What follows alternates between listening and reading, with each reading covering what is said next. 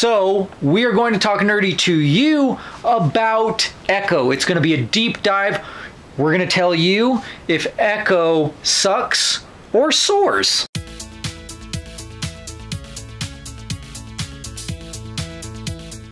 With your hosts, Pablo Gunner and the ambassador. So, deep dive Echo. Let's let's talk about it. Yeah, yeah, yeah. So, Echo happened. Uh, it's the first one to be on uh, Marvel Spotlight. Was it Marvel Spotlight? Yeah, yeah. That's their new what they're calling their shows now. Oh, okay. The production company behind it. It was the first time they put it all out at once too. Yeah. It was five episodes. And the first one's actually pretty long. I think it's almost an hour, maybe like 51 minutes. And then they progressively get less, which I feel like some would have benefited from a little bit more. And it's weird because I feel like the earlier episodes actually felt like they needed a little more, but those were the longest ones. Yeah, I, the pacing was pretty off in this. The hardest part of having like a character like they're they're not very likable naturally, so you need to you need to work on giving them some traits that are redeemable. Because like Tony Stark was an arrogant asshole, but he also seemed like a nice person and seemed like he was trying to be better towards the end. Yeah. So, I mean, and and for those of you that don't know, it is Echo is Maya Lopez. She's played by Alaqua Cox, which originally the character is not an amputee, but the actress is right. Alaqua Cox is an amputee. Uh, I don't remember. I want to which leg. I want to say it's her left leg from from the knee down, but but they incorporated that into the show. She is deaf, and she is also Native American or Indigenous, whichever you prefer. And that's a heavy. That's such a heavy influence from the get go. They tell the story of the first Choctaw, which I wasn't aware of, and to me it was pretty confusing that they the way they went about it. It wasn't until later on that it made more sense and this whole thing made more sense as well as like her whole name. I feel like that could have been done better and I, I don't know, I just feel like because of the way that it improved as it went on, I feel like maybe they should have gone back to the beginning and been like how can we improve this and make it better while also maybe making it shorter but getting to the point quicker and, and explaining it better. Now obviously that that for us that first episode is almost entirely recap, Yeah. right? Or or backstory, which was pretty- recap or random scenes you really just no explanation just expect you to remember it later when it does come into bold Please, Cora. Look at Milo. He's able to meditate peacefully. Actually, I think he's asleep. What? Well, at least he has the relaxing part down. Right, yeah, and you get your you get your Daredevil appearance. Uh, we kind of, I, I kind of wish there would have been more, but it makes sense why there wasn't more. I like where he was. It was like it didn't really need to be in there, but I, I obviously enjoyed it. To me, that showed the level and quality of the fight choreography from the get go. Right, like that whole fight scene that she had with those guys and with Daredevil, so top notch. I, I would say it, it even rivals the stuff they did in the Netflix show because they didn't really he didn't use his weapons that much i feel like. And in this they had him use it quite a bit and i was like oh i love that. I love that stuff. I love it in the comics and i, I loved it when they did it in the show. And it was just it was so well done that fight. And then but it's kind of like a quick thing and then we move on to to the rest of it. And usually the first episode is all the exposition and setup and instead because it was a recap episode and backstory kind of slowed it down so that the second one was all exposition and and build and setup it, it was weird because we it was weird to have that because most shows are not like that or most things right? Like when you have your second part that's when you start like okay we're that's when you start getting into it ins- instead of laying down the foundations or whatever what this actual show is going to be about. I don't know if that was a good thing or a bad thing necessarily to have a recap episode because there's those of us that do watch the shows right? Like we're diehards and we watch everything that marvel does and we read the comics and stuff. So we know this stuff well enough that we don't need a recap, right? Like I, I, I liked the backstory, but I didn't feel like I needed the recap because I remembered the recap. Or what I think would be better is Netflix is really good about doing this when they have their shows. Every time there's a new season, they have like a season recap that gets you everything you need to know and caught up. Like if they would have had that at the beginning and have it optional to skip, I think that would have been a better approach so you could really focus on the character and uh, try to figure out more of what to do, try to get it flow better. right, absolutely. Yeah, for sure. They ran into a lot of issues that bound to happen with the way they were planning on filming it. Mm-hmm. Like the whole signing and talking kind of works, but doesn't at the same time because then you're having to have these people who are trying to deliver a line slow it down, and then it kind of cheapens the delivery because they're having to do the signs while talking. Uh, the one thing that drove me crazy the most was Kingpin little contact thing. I like the idea.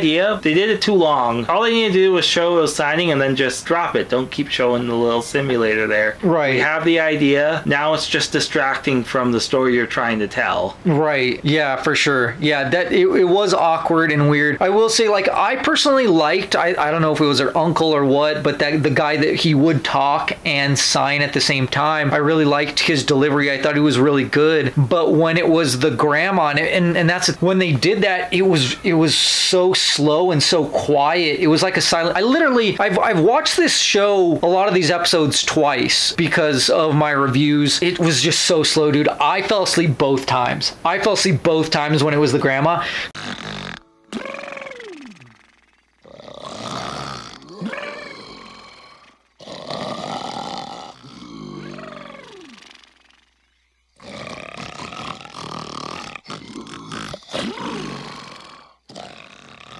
Because she wouldn't talk, right? Like she would mouth or she'd be such a low whisper that she wasn't like you'd barely hear it. I literally fell asleep both times that I watched it. And yeah, it does give more power because when you when it switches to the parts where there is audio or where she does talk, yeah, it's more powerful, but I'm asleep and then I'm awake because it's loud and Yeah. it's intense and it's like, "Oh my gosh." And then I after I had to rewind it multiple times. I will say that's one point where it didn't work, right? Like once again, it didn't work there. Some of the action I felt like was really top notch, right? Like you have the Daredevil stuff and that whole that whole fight scene, super top notch. Kingpin when he does his stuff, it feels like it's straight out of the Netflix show and it's just so it's so powerful. But then there's like the ice rink. There's certain parts where I was like, this looks great. This looks kind of lazy. This looks okay. And it was crazy how like the quality was all over the place. And and that also makes sense because I think she was pregnant for some of the filming of this, so they couldn't be that aggressive with her, right? Like or Yeah. she would like you just see her fist hit somebody's head against something. Even trash cans have no effect! Oh, brother. You know, it might not even been her because I know she did have a stunt person as well. What can I say? I'm nothing without my stunt team.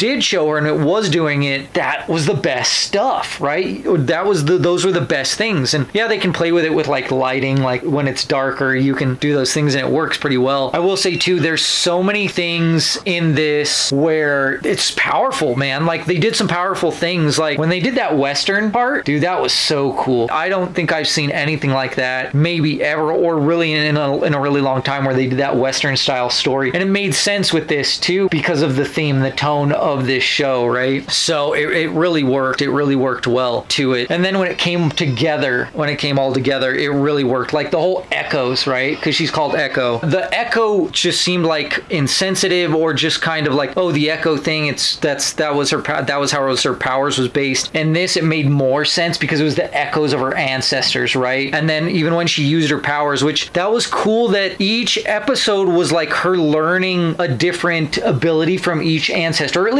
not learning it, but at least becoming familiar with it, right? Yeah. So that by the end she was familiar enough that it made sense when she used it and she created those echoes that are people that are in her bloodline and they were able to tap into that too. That was so cool. I really loved that. It was fantastic. And just seeing seeing the culture littered throughout. I didn't feel like it was too heavy on any part. I know there's people out there that will say like, "Oh, Kingpin was was toned down, he was watered down, he was weak, and I'm like, did you see it? He destroyed that dude. And like I said, that was that felt like a Netflix moment. And even going further, like you never really saw him put hands on her. I was afraid to when he was because I was like, he will destroy her if he does that. Because this dude is like next level. Like they've amped his power up from the Netflix series, right? Like he just seemed like he was a man before. He almost seems I won't say he's god level, but he seems on that same level as like Daredevil, Spider Man, right? Of power level. Yeah, he somehow survived that shot, which makes absolutely no sense. You just gotta go with it. Right, and I think that's because they're saying, hey, this is superhero. It's kind of like the Fast X series where it just got more and more ridiculous, and people were just like, fine, whatever. Right? Like they're establishing a line, like this guy's slightly different, he's powered up and stuff like that. Even what they did with his character, they did it in the comics, and to me, it didn't really make sense why he just all of a sudden had a change of heart in the comics and was like, I'm gonna be a politician. The point is, is that like it didn't really make sense in the comics. It made more sense in this because she gave him the change of heart, right? Like she healed him, she helped him, and that was such a powerful moment too to be like how she still considered him her uncle. He she was able to recognize that he still cared, even it was it was like misdirected, misguided and stuff. She was like, "You're still my uncle. I'm still gonna try to help you and heal you," and that made it so good to have him be like, and that's where he's going next because that's what they do in the comics. And I was like, oh my gosh, I'm so excited to see that. What do you think you give it overall rating? Uh, overall, uh, so with our grade scale, our grade scale is like pass, and then it's like uh, it used to be rent, right? But now it's probably like you know skim or something like that, you Oh, know, weak- or extreme. yeah, like a week's Like if you have the time. if you have a lot of time, I guess, yeah. Uh, and then there's like stream, you know, like you have to see this type of thing. So for me, I really enjoyed it. I don't think it's the greatest show, but I really enjoyed it. I, I thought it was wrapped up really well. I'm fine with the one and done. I would like to see Echo again to see her character grow, but I, she doesn't need a second season. I love, I like the idea of Marvel doing this. We only need one season. These are like just links in a chain of a bigger story, and they're gonna lead to like these events. I love that idea, and I hope they do that. Like I wouldn't, I would love to see her in Daredevil. Not a lot of Daredevil, but in there would be cool, you know. Yeah. So she doesn't have to be a main character. We don't need a second season. This was so well done for me, especially because it was so emotional. It was so emotionally powerful for me, especially as it continued on. Like I said, I've watched it multiple times, so I absolutely have to give it like a must see, a must stream, must view because it's it's totally worth it for me. Despite the fact that yeah, it's not the greatest thing ever, but it's still definitely worth that. It was alright, but I just can't really rationalize like a must stream or a stream. I, I give it like a week stream. Like it's not bad, but it's not like the best thing I've watched either. It's just kind of, it's alright. It's not anything to brag home about most of the series. I just think they had a lot of good ideas. They just didn't really get them applied the best way. Right, and and that's what I'm giving them points for their ingenuity, for their bravery. Because dude, like to have all of that in one thing, that's a lot, right? Amputee, deaf with the sign language, uh, Native American, Choctaw,